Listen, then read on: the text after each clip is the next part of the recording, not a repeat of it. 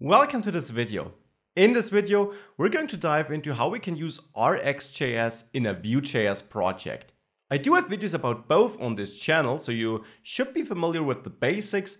I want to show you how to connect both, and in this video, I won't use VueRx, a package provided by the Vue.js team, which also allows us to integrate RxJS into Vue.js.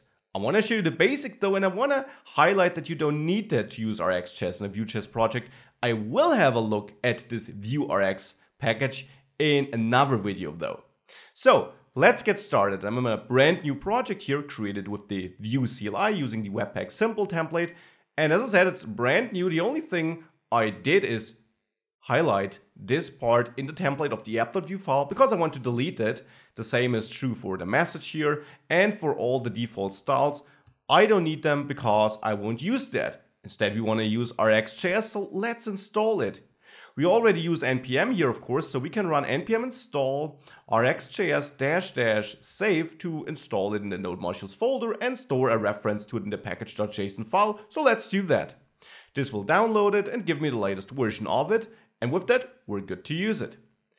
To use it, we need an observable. Now, obviously, because we want to play around with observables. So what I'll do is in my data method here in this app.vue component, I'll set up a count property, which I set to zero, and that clearly is not an observable. I want to create one in the created lifecycle hook though. So once this component has been initialized, I want to create my observable to which I can listen. So I will use obs and now I want to use observable. And for that, we need to import it, of course, because in this file by default, there is no observable object. So we need to import it to unlock it. So let's quickly do that.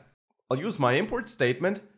And now the quickest way of doing it would be to import rx from rxjs slash rx. And this would import everything from the RxJS package, and that is why you shouldn't do it, because you would import a lot of stuff you don't need, and that will bloat your final bundle, will really increase its size, and it's not a good practice to do though.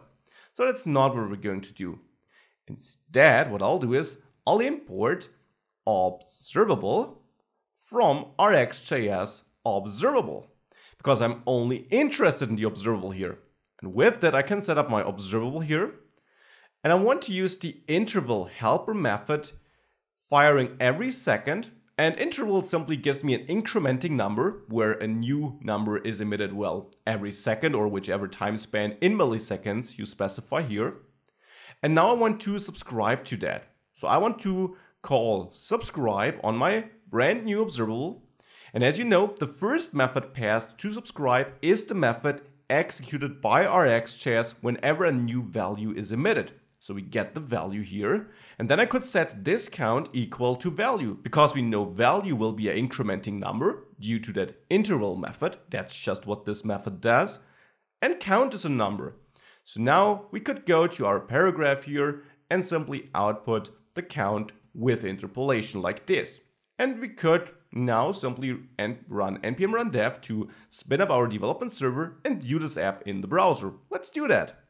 If we do so, we'll realize that we do see zero, which makes sense because our initial value is zero, but it doesn't change. And if we open the console log, we see an error. That interval is not a function. What's that? Well, interval is not a known function, I should say. Because the way RxJS works, we have to be explicit about what we use for the reason that we don't bloat our bundle.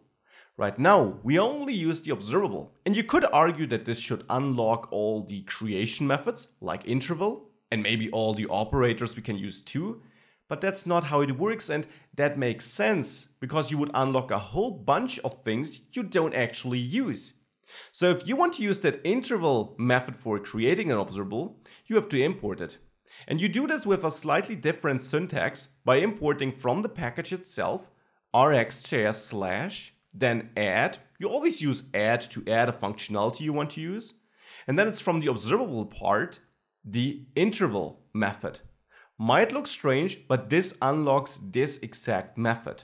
Now if I hit save and go back to that page, you see it starts incrementing and we get our new number every second automatically output to the template. Now we could stop here, but I also want to show you how to use an operator. Let's say we only want to output even numbers here. So as you learned in one of my other videos, we can do this by simply chaining another operator before subscribing. And the filter operator would allow us to filter the values, which is what we want to do, right? Filter takes a method as an argument where we get the value. So this is executed for each value which is emitted. And then we simply return. And since this is an inline arrow function, I can omit return, but it will be added implicitly. So we return a value and the value I want to return is true or false. True if I want to allow the value to continue, false if I want to drop it. So it should be true if the value is even. And we can verify this by using the modulus operator, so dividing the, value by 2, and modulus will then give us the remainder of the division. If that is 0, then it is an even number because we have no remainder and therefore we should return true. So this check will return true for an even number. If you wanted to check for the opposite, you check for that not being zero, which means there is a remainder, which means it's an odd number. So I'll change it back to the equal sign though. Now with that, we could think we're done, but we also need to unlock that operator, that filter operator. So we need to import our rxjs add, but now not from observable, but from the operator package the filter operator. With that, if we now hit save and we go back to the page, we see that we see 2, 4, and 6, and so on. So every even number and the other ones are dropped and not output. And that's actually all. This is how we can easily incorporate RxJS into a Vue.js project without using a special package. However, there is a special package which adds some convenience to that whole thing. We'll have a look at this in another video.